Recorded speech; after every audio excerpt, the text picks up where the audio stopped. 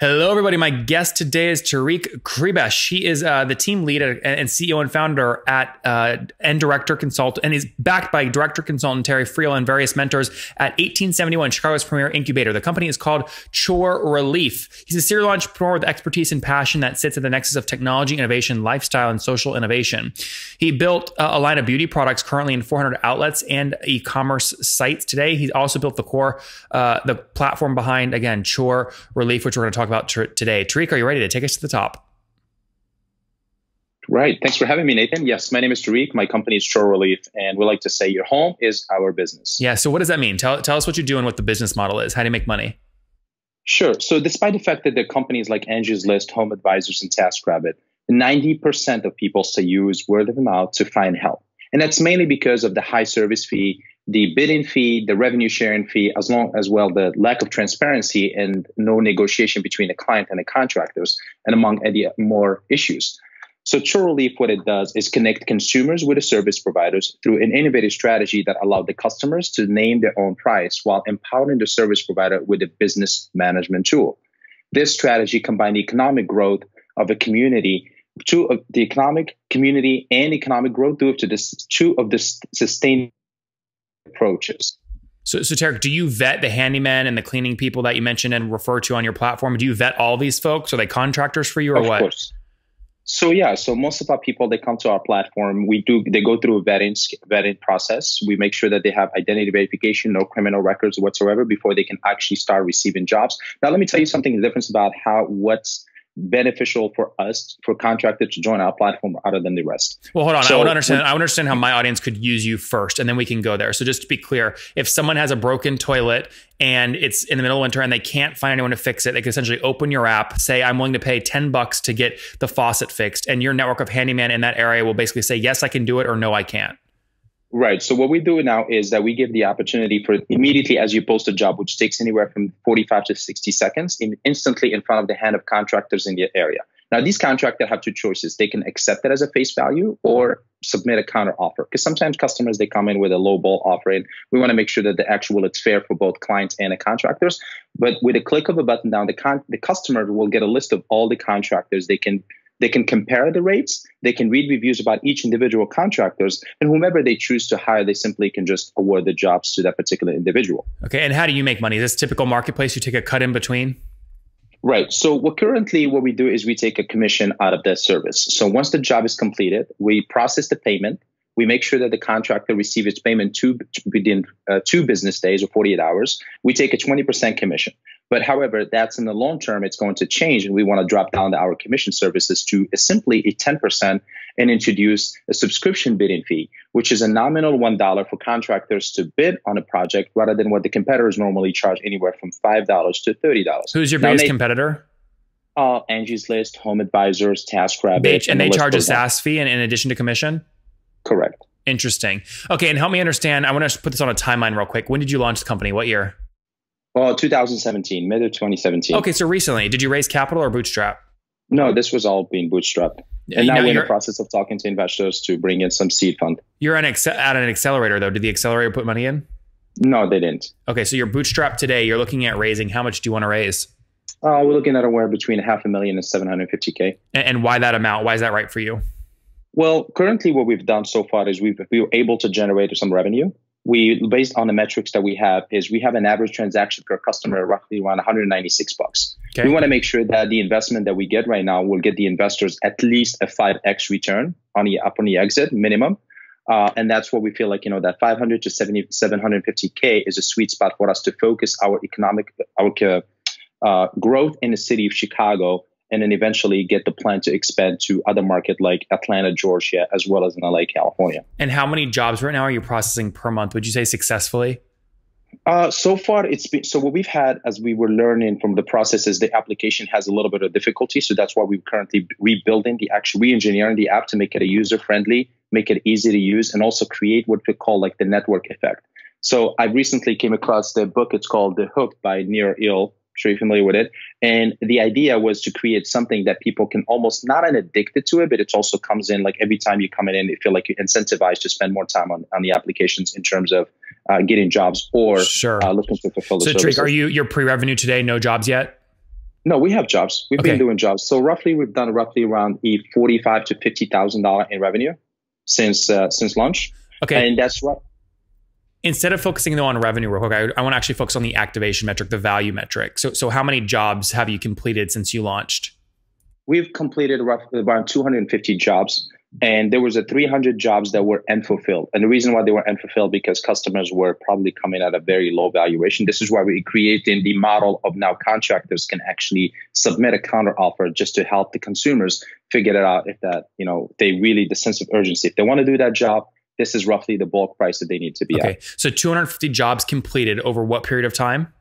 uh, over 12 months. Okay, the past 12 months, the average kind of per job price is call it 196 bucks. We'll say $200. Two hundred dollars. 200 bucks, which means again, volume wise, you've done about 50,000 of which you keep 20%. So your revenue, your, your kind of gross margin is about, you made about 10 grand so far. Correct. Okay. And how are you? So you're in a very beautiful spot right now in terms of experiments and figuring things out. How are you convincing both sides of the marketplace to use you? For example, I would never use you as a consumer because I'm going to think, well, they're brand new. He's not going to be able to fulfill my job. Why waste my time? So here's funny that you said that. We figured out a way of growth hacking to get contractors. Right now we have about 7,000 contractors across our platform with a 13,000 contractors and a pipeline that we didn't even have actually start taking applications. We found it at our our. I mean, there's no lack of contractors looking to to to do jobs because they've been hurt by these other competitors that are charging them 30 bucks just to get a lead, and there's no guarantee you're getting the job. Here we are, we're offering you an actual job, not a lead, and its entirely at that point, it doesn't cost you anything to to submit an offer or accept it as a face value. So it's not a shortage amount. What we have now, we're focusing on is trying to find clients like yourself, people that want to come to the app. Um, that's why the focus now is shifted back into Chicago, even though if you look at our user map, it has a nationwide user presence. But we want to stay focused in the city of Chicago, make sure we understand our uh, KPIs, understand our customer personas, make sure we find, you know, we get the lowest cost possible to find these clients and hopefully build some sort of a metrics that allow them to come back for more So how are you doing that now? How are you getting users? So right now, what we do is we do a lot of uh, social media paid advertising, as well as we go like, you know, uh, conferences, meetup, meetups. Like part of the incubators that we do every Friday, they have what's it called a TGI Friday. So we're part of that community, and then we just pass out flyers, coupons for people to try out the service for the first time. Yeah. You know what I would do if I was you? Uh, You probably Yeah. couldn't do this, but this is what I would do. I would literally go to like my neighbor's house. I would take a bat and I would beat the hell out of their mailbox. I would destroy it. And then I would leave a note. And the note would and the note would say, I accidentally hit your mailbox. I'm willing to pay to fix it. Just download this app and I'll cover the total cost. That's not bad. That's, That's what I would do. idea. I So- would go knock down every mailbox. But here's the thing: when I first started, I made these poster cards, and I was literally going through my neighbors at nighttime because I didn't want to people like call the cops, and I would just literally slide them through their doors, and that's how we growth hack our consumers at that time. However, we had some difficulties, technical difficulties, just like any founders. When you create an app, I had an IT background, so I was like, "Oh, this is easy; anybody can figure it out." Then realized that well, there's a little bit of difficulties for an average Joe. So that's what we got us back to sit back now and try to build an app that almost you can use it as using an appliance, like anybody know how to use a fridge. So we want to make sure that we build an app that even a grandma would use it. So I actually had a chance to do a different focus group with different age group and 99% of the people say they know now it's simple, crystal clear for them to use it. And we can't wait to roll that out by end of this month. Yeah. But so, okay, so you have 250 people in today. Are those all unique or has anyone done used it twice? 25% return customers. Okay, so how so what? So 25 about 50 people have used it at least twice? I've used it more than one time, correct? Yeah, yeah. Uh interesting. Um yeah, really interesting. In terms of getting the 7,000 contractors on board, do they know they're on board? Did you just do kind of scrape unstructured web data and basically just auto put them in and then you just email them when when you get a new lead and then then when you email them that lead, that's when they onboard to your platform? No. So what happened is they go to our platform, they do the simple process of onboarding themselves. Immediately as we get that information, we do the background verification, uh, identity verification. But why do they they do get- that? That's what I'm saying.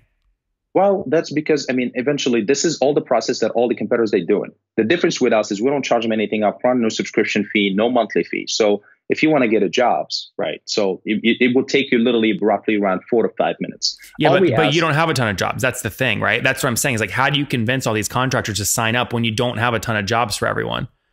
Well, at this point, they just look at our social media and they want to start be part of it. I mean, how do they know? We don't tell them that how many jobs we have specifically in their area. We've getting a lot of people applying from different regions, and we send them an email like, "Hey, look, we appreciate your your help. You want to be part of our network. We're not currently available in your area, but as soon as we are, we will let you know." However, however, even if they choose to opt out to to using the app, we don't. They don't. The way the app works is they don't have to go there and manually search for jobs if there is anything within your area right now, within the service category that you chose, like let's say you want to be a handyman, we send you a push notification. So you don't have to look in the app. We let you, hey, Nathan, there is a job near you. You open the app, you look at the detail of the job, and then at that point you decide if that makes sense or yeah. it doesn't it's not we're taking a lot of these labor work for them and then dispatching is done automatically for them. Yeah. Okay last question. You have good looking guy nice jewelry on. You got a picture of you behind you in the chicago tribune. Looks like a nice office. You're you only done 10 grand in revenue in this company. Why are you doing this? Why didn't you just double down on moroccan gold and cosmetics? I mean why not keep building that thing well, I'm originally from Morocco. So when I came across this whole shared economy, we grew up in it. And the fact that a lot of these companies, I see them taking advantage of small businesses, not actually allowing them to thrive and then calling it, I'm helping you. It's not a really help if you're going to charge someone up front. So I want to get into this space and bring my roots, what how we actually is, is live this shared economy. And the way we do it is you make money, I make money. It has to be somewhat of a fair ground. That you know, it doesn't have to cost you anything. And then especially my goal, my belief is I want everybody, regardless of their income, Nathan, to be able to afford to hire help. We can't just live in this society where, oh, you have to make certain income to be able to afford to hire a cleaning service. As an example, I wanted to get someone to clean my house through TaskRabbit, and they were charging me around 430 bucks. That's literally what the price they quoted me for. I'm like, hey, screw that. I'm not going to spend 430. And then for sure as hell, there's a millions of people out there don't have that money to spend it in cleaning their house. So I use my own app. I post a job for 100 bucks, the exact same place, the exact same square footage, exact same dimensions. And I've had not one offer, I've had 17 different offers, and I picked one person that was willing to do it for the price that I asked for. She came in, I asked her a question. I was like, hey, she didn't even know who I was. It's all right. Hey, she comes to my house in my app. She did the whole service, and I'm like, how, how, how is it? I was like, oh, it's great. Have you been in the app? I was like, yeah, I just signed up like a few days ago, and I'm getting this is my second job, and I'm, I'm excited. Now, here's one story that I really I don't tell people much about it. The first high paying job was a $650. was a woman, she was installing a baseboard on her living room. I actually called the contractors to make sure that we send find someone qualified to send to that person's home. And I showed up at the same time at the job time was. Here I am at the same time. The contractor think I am part of the family's home, right? And then the, the woman, she thinks I'm I'm a co I'm a helping the contractor. So the whole time I'm helping this guy. We did the job in roughly around four hours. And I asked the lady, hey, how was it? She's like, oh, this is great. This is fantastic. I'm like, I'm just out of curiosity. Were you shopping around for code? What was the minimum code that you've got before you actually use this app? And she didn't know who I am again. She was like, oh, the minimum was uh, 1200 bucks. And here she is posting the exact same job for $650. And I talked to the contractor. I was like, hey, how you like it? I was like, man, I would have done it for 350 And here's the contractor who's getting paid 650 So I want to make sure that I want to see, you know, firsthand what's going on growing up as a kid, my father was, you know, developer. Hold on, though. Hold on, Tarik. I can't let you get it. I have to add to that though, because see, you're telling one story. The flip side of yeah. that is, yeah, he's making 650. He could have maybe made 1200, right? If if sure. if it was booked through the other app. So like, see, the thing is with a marketplace is it gets cheaper on one side, but more expensive on the other, right? So like that trade off has to exist. You can't have both sides doing better.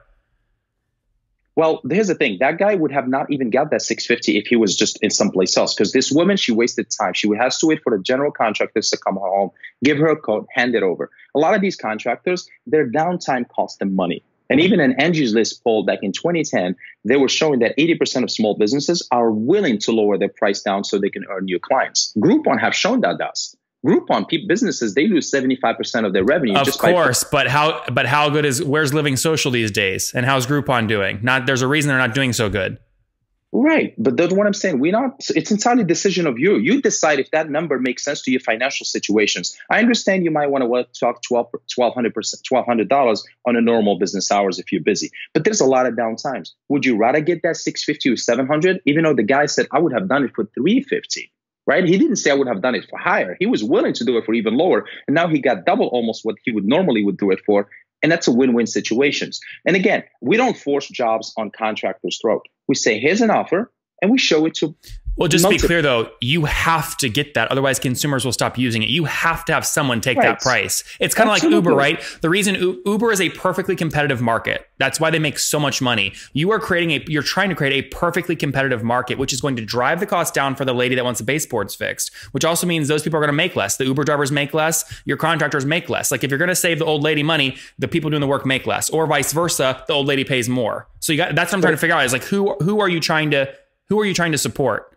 But here's, here's how we actually make enough for that, even if you get a lower price. The service provider, we give them a business management tool. So you came in today as an individual, single man. You want to build this business and grow. You can't be in two places at once. So what happened? You can actually have use uh, the, the business management allow you to subcontract or even hire more employees. Now these employees can take jobs on your behalf. So you could literally be having two jobs at the same time. You're doing one, one of your contractors, subcontractors doing one for you. When the payment gets paid, the client releases the payment, it comes to you as a business. And then you have all the data in your business management tell you who earns what, what is the customer thinking of them, how much was the job paid for, and then you can compensate these subcontractors as you wish. So just because you get in low from this particular deal, you still have multiple other source of income that you can build your business. Now you can scale it up. Well, we believe in. We'll, we'll, we're out of time. I want to see what happens. Come back on in a year. Let us know how it's gone. In the meantime, let's wrap up with the famous five. One word answers here if you can. Number one, what's your favorite business book?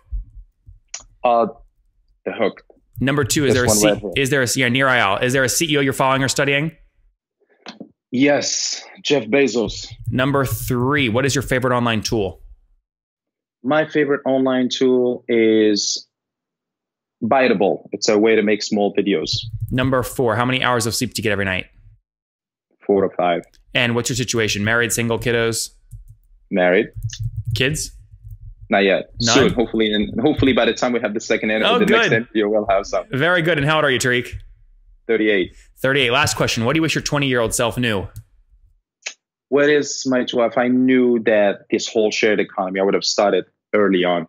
Yep. Especially we we lived in this stuff when we were kids. Guys, there you have it. He would have gotten to the shared economy sooner. Now working on Chore Relief, he has processed 250 jobs at an average price point of about 197 bucks per job, 50,000 bucks in total volume through his platform. He keeps about 20% of that, so 10 grand for the company. Currently raising 500 to 750k to continue doubling down on growth. Again, launched in 2017, really helping and hoping to grow the shared economy specifically in the home services space, whether it's contractors, handymen, cleaning folks, things like that, home repair, uh, and helping consumers get matched up to better quotes faster. Tarik, thank you for taking us to the top. Thanks, Nathan. Thanks for having me.